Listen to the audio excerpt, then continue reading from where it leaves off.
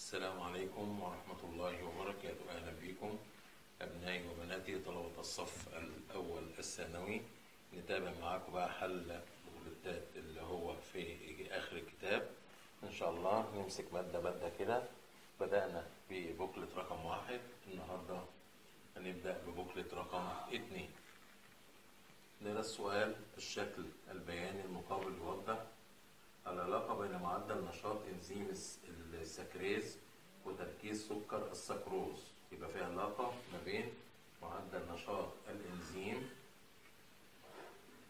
من تركيز سكر السكروز. يبقى اسم الإنزيم هو نفس الاسم الإيه؟ السكريز وده هناخده في تانية ثانوي في الأحياء بالتفصيل إن شاء الله. يرجع ثبات.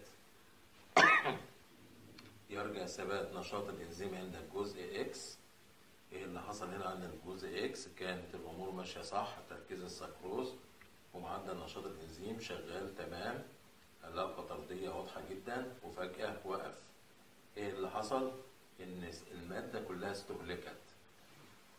استهلاك كل مادة إيه؟ تفاعل ما نقولش تثبيط انزيم نشاط إنزيم ما قليش ان تركيز إنزيم يحد من معدل التفاعل لا طبعا.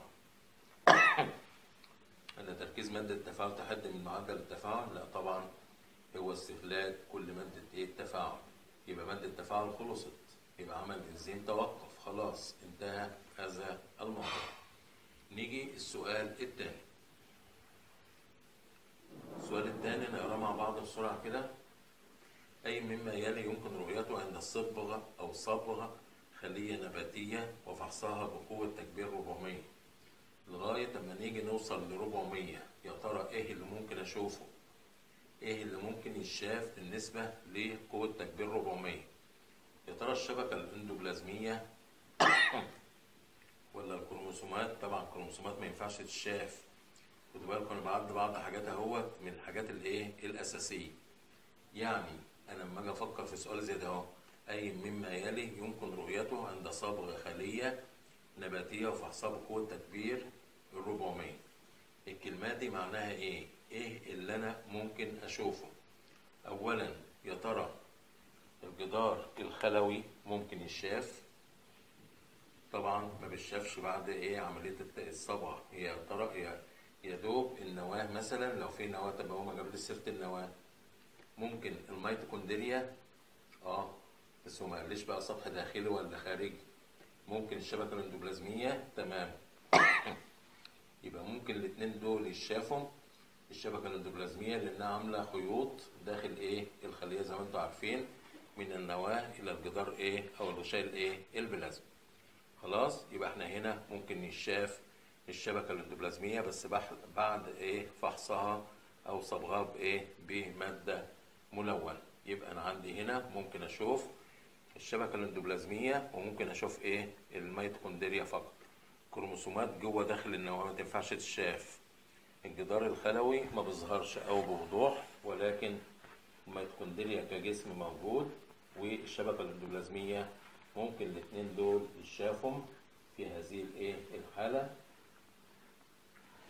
لأن جيم ما اخترناهاش ليه؟ لأن الكروموسومات ما تنفعش تتشاف خالص. تباء ما اخترناهاش ليه؟ لأن الكروموسومات ما تنفعش تتشاف خالص. طيب ألف الكروموسومات ما تنفعش تتشاف خالص. يبقى أنا لغيت الثلاثه دول لأن كنتوا مستغربين إن أنا ركزت على ده مره واحدة. الكروموسومات عمرها ما تتشاف لأنها داخل النواة من جوه. عمرها ما تتشاف. يبقى الثلاثه دول هم اللي الغم أو لغوا ألف وباء وإيه؟ وجيم ركزوا. أنا يوم ما اتزنق في سؤال أبدأ أشيل الغلط الغلط الغلط الغلط ومتأكد إن هو غلط هطلع بالاجابه اللي إيه؟ اللي مطلوبة. السؤال الثالث.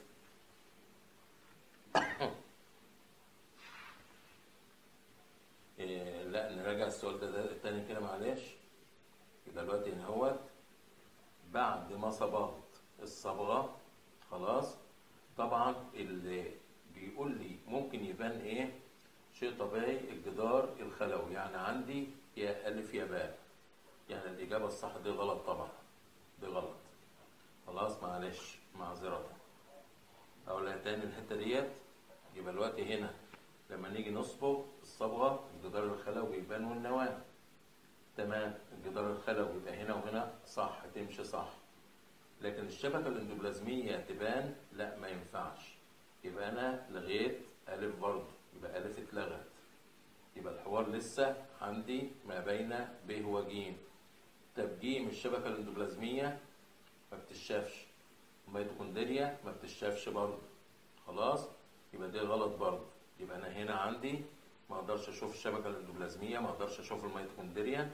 ممكن الجدار الخلايا كأساس والكروموسومات كأساس. ما هم الاثنين دول زي بعض. بس هنا عمل لي علامة صح على الشبكة الاندوبلازمية. يبقى ما عادش تنفع. يبقى الإجابة الصحيحة. الإجابة الصحيحة. خلاص. إيه طيب الكروموسومات إمتى تبان؟ حينما تكون في الطول السوائي. حينما تنتظم في صف. هل دي ممكن تبان بالصبغة. آه. إحنا خدنا السنة اللي فاتت اللي هو الانقسام الميتوزي والميوزي. تنتظم الكروموسومات في خط السواء إيه؟ الخلية.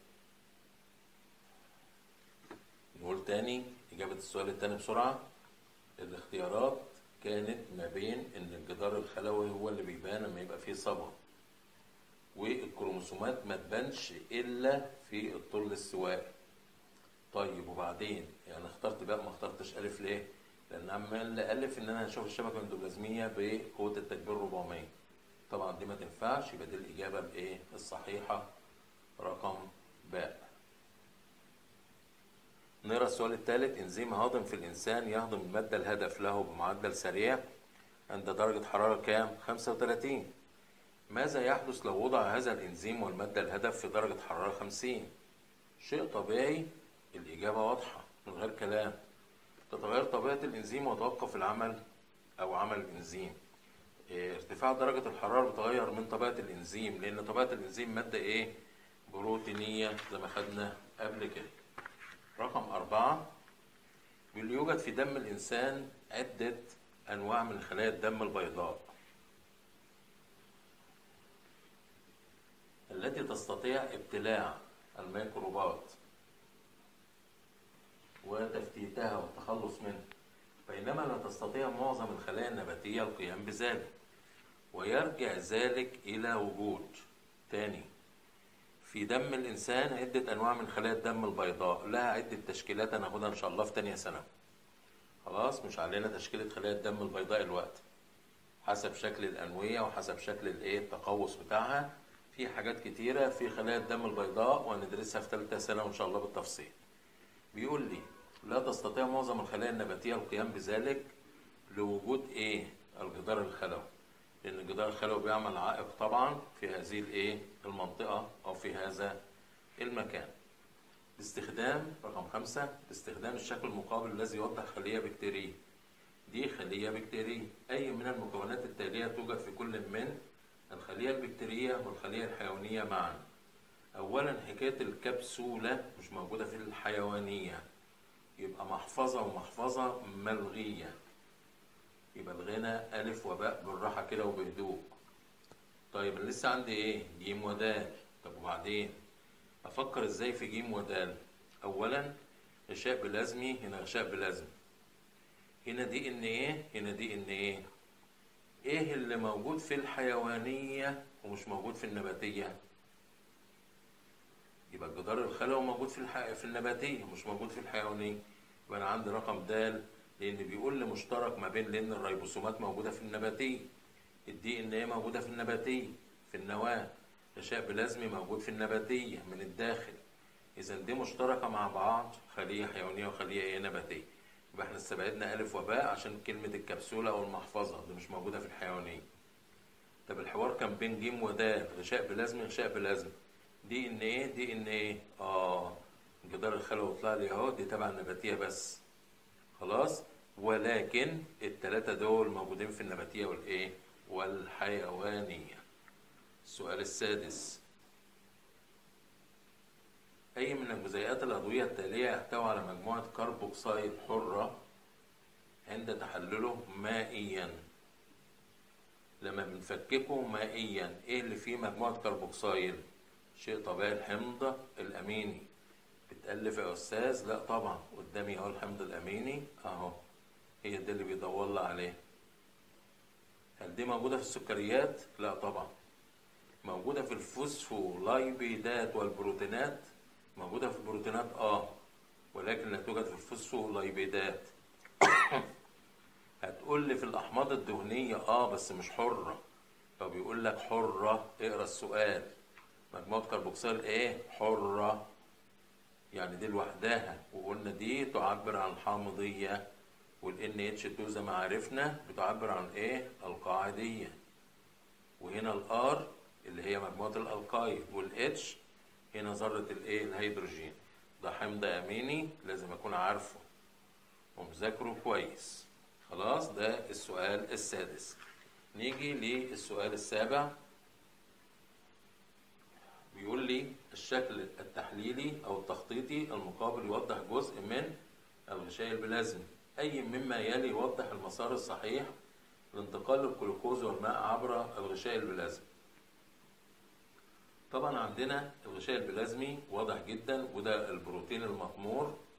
خلاص يبقى أنا عندي هنا الجلوكوز ممكن يبقى Y. خلاص وال X عندي يبقى ممكن إيه؟ المية. يعني المية والجلوكوز ممكن يعدوا من الغشاء البلازمي؟ آه. وهنا الجلوكوز عندي Y ممكن يعدي من إيه؟ من البروتين المطمور اللي موجود هنا. نقرأ السؤال تاني. الشكل التخطيط المقابل يوضح جزء من الغشاء البلازمي كلام جميل. أي أجزاء كبيرة كده معروفة اللي هو البروتين المطمور ديت فوسفولايبيدات محبة وكارهة للماء. أي مما يلي يوضح المسار الصحيح لانتقال الجلوكوز والماء عبر الغشاء البلازمي. طبعا الإجابة هتبقى ألف. إن الجلوكوز ده يمثل هذا جلوكوز لأن البروتين بيعمل كمواقع التعرف على إيه؟ المواد اللي بتمر من خلاله. وأنا عندي هنا X و Y ممكن يبقى إيه؟ ممثلين بإيه؟ بمية إن ال X والمية ال Y إيه؟ ممكن يعدوا هنا وهنا. السؤال الثامن جميع المواد التالية قد تعطي نتيجة سلبية مع كاشف سودان أربعة ما عدا. طبعا ما عدا يعني كله هيدي سالب ما عدا حاجة واحدة بس هتدي لي موجب. إيه هي؟ جميع المواد التي تتكون من أحماض دهنية. لأن جميع المواد العضوية ما اشترطش تبقى دهنية. المواد العضوية معروفة اللي هي الايه البوليمرات الأربعة اللي إحنا عارفين. كربوهيدرات ما فيهاش أحماض. خلاص؟ عند البروتينات عند الأحماض النووية. جميع المواد التي تتكون من سكريات أحادية طبعا لا. جميع المواد التي تتكون من أحماض أمينية يعني بروتينات بس لا طبعا. طبعا جميع المواد التالية قد تعطي نتيجة سلبية. يعني ده كله سالب مع كشف سودان ما عدا اللي إحنا اخترناها. افهموا السؤال لأن كلمة عدا ما عدا دي بتلخبط الشاطر. لأن الخايب هو ما بيحلش. فدايما ناخد بالنا. تسعة الأشكال التالية توضح أنواع مختلفة من خلايا بعض الأنسجة في الكائنات الحية أي منها له القدرة على الانقباض والانبساط من غير ما أتكلم. نسيج العضلة أو العضلي له القدرة على انقباض وانبساط. طب أنا عرفت له القدرة على انقباض وانبساط طب ما أفرض دي عضلة القلب لا فيها نواتين في ليفة واحدة. اتفقنا إن عضلات القلب فيها نواة واحدة في ليفة واحدة. كل ليفة فيها نواة جدارية واحدة. وده هندرسها بالتفصيل إن شاء الله في تالتة ثانوي مش في تانية ثانوي في تالتة ثانوي هتدرس بالتفصيل. خلاص؟ كل ده ملوش علاقة بالانقباض والانبساط اللي عندنا اللي هو حرف إيه ده. نيجي آخر سؤال النهاردة. أي مما يلي يوضح المسار الصحيح لإنتاج إنزيم معين؟ إنتاج إنزيم معين الإنزيم تبعته إيه؟ بروتينات. فكله بادئ لي ريبوسومات يبقى كله البداية تمشي معانا صح. طب الريبوسومات صنعت بروتينات. هتوديها لمين؟ للشبكة الاندوبلازمية لأن فيها خشنة. خلاص هتعمل تعديلات في هذه المنطقة بالنسبة للريبوسومات. يعني عندي جيم أو دال اللي صح يبقى ألف وباء استبعدناه. لأن المسار الصح الريبوسومات هتروح على طول على الشبكة الأندوبلازمية. يبقى أنا عندي جيم ودال الاتنين ماشيين لغاية دلوقتي طب وبعدين؟ بعد ما يتم فيها التعديلات هتروح للحويصلات الناقلة. جسم مش جسم جورجي جسم جورجي آخر مرحلة. الحويصلات الناقلة هتنقلها لجسم إيه؟ جورجي يبقى دي الإجابة السليمة. ونحاول نركز فيها كده ونعملها بالورقة أكتر من مرة. عشان تثبت في دماغنا إن شاء الله. اللي ما اشتركش في قناتنا إن شاء الله يشترك نضغط على الجرس نختار الكل وإن شاء الله نحاول يوميا نحل اختبار من الاختبارات العشرة إن شاء الله. آه، مستر مصطفى رجب يحييكم مدينة دمياط الجديدة. إلى اللقاء. والسلام عليكم ورحمة الله وبركاته.